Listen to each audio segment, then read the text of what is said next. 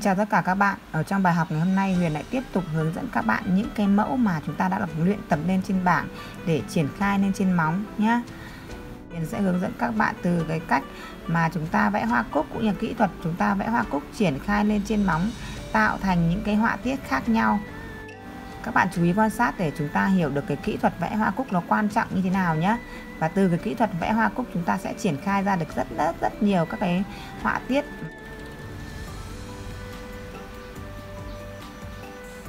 mài cái bút đi các bạn. Mài cái đầu bút cho nó nhọn nhé trước khi vẽ các bạn mài cái đầu bút đi. Đấy, xong các bạn lấy gel này. Ấn ở đầu này. Kéo vào nhà đuôi này.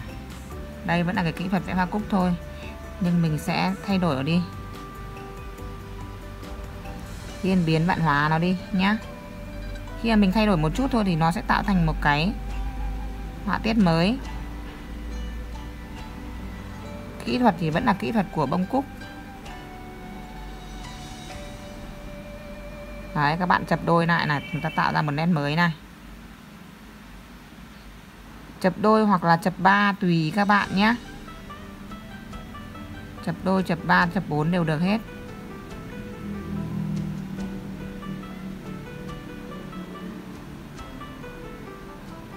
Chưa?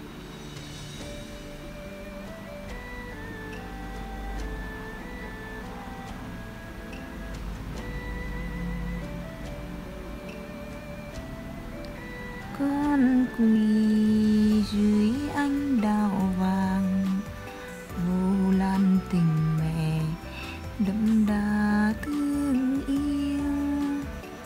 Ni hương mấy néo sơn về. Đấy các bạn cứ lối vào cho mình nhá, tạo thành một mảng hình nhá. đấy, sau đấy này các bạn mài cái đầu mực đi cho mình mài đi để chúng ta lên những cái nét mảnh nhá. Đấy, những cái nét thanh nét mảnh này. Thấy chưa? Tạo cái sự khác biệt. Lúc nào nhớ cho mình là lúc nào mà chúng ta cần nét mảnh thì các bạn phải mài đầu bút đi nhá.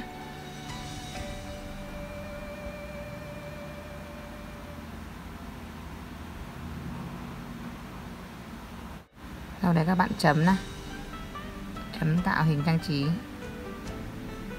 Chưa?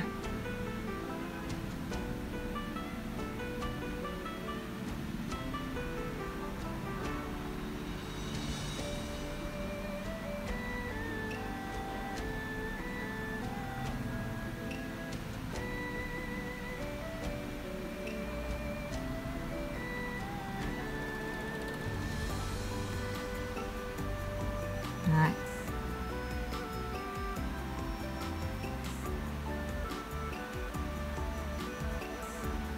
Đấy, nghệ thuật thì, thì luôn luôn vận động không ngừng sáng tạo các bạn học hành mà các bạn à, máy móc chỉ nghĩ là cái mẫu nào cô giáo dạy thì mới biết vẽ biết làm.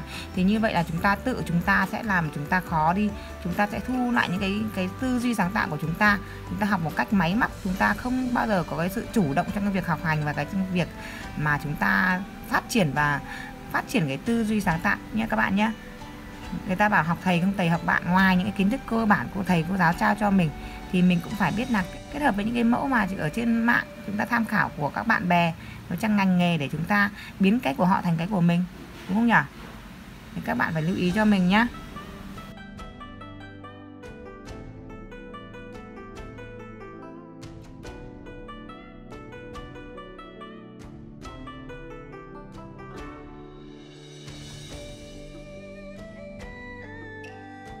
Đấy, thì các bạn dừng cho mình họa tiết ở đây nhé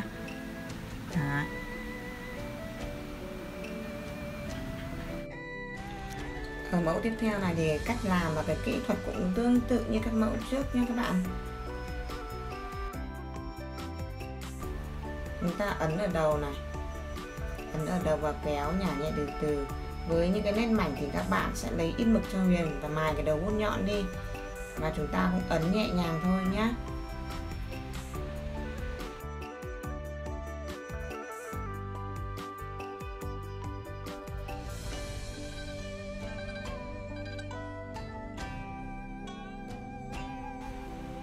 Tương tự như vậy, chúng ta sẽ vẽ một nét ngược đi từ dưới đi lên trên, gặp nhau tại một điểm.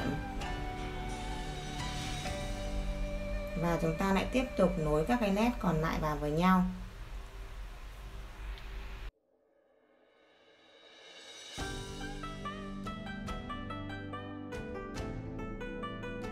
Và các bạn tiếp tục bổ sung cho mình những cái nét nhấn nhả giống như cúc vào đoạn giữa của hai nhánh vừa rồi nhé để cho cái đoạn V này của chúng ta đầy và kín hình hơn.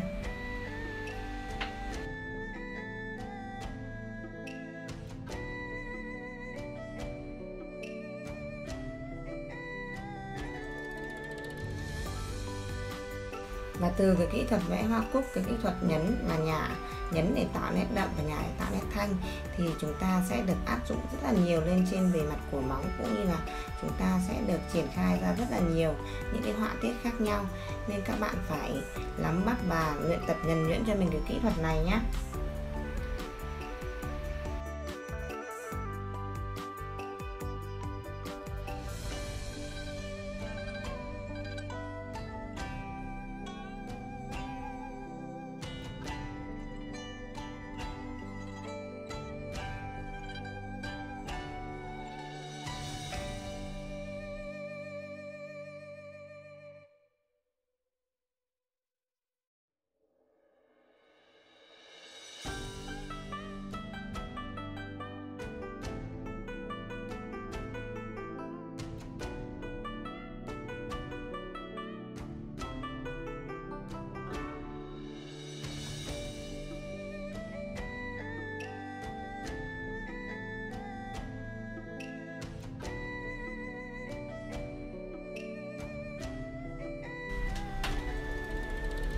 Ok, và như vậy là cái hình vẽ của chúng ta đã gần như là hoàn thiện.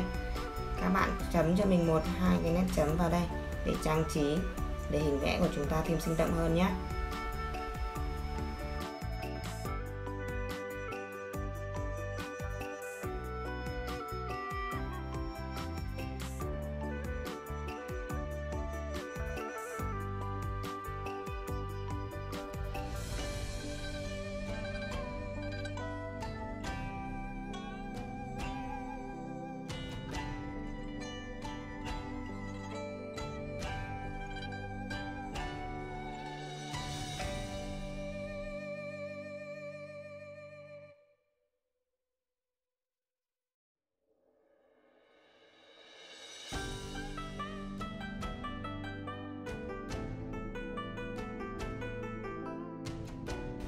Và các bạn luôn luôn nhớ cho mình một điều nếu như mà chúng ta muốn vẽ nên mảnh thì lúc nào các bạn phải mài bút cho huyền nhé mài và đi nhẹ nhàng thôi và kéo dài cái bút ra để chúng ta cái nét mảnh của chúng ta nó mượt nó không bị đứt nhé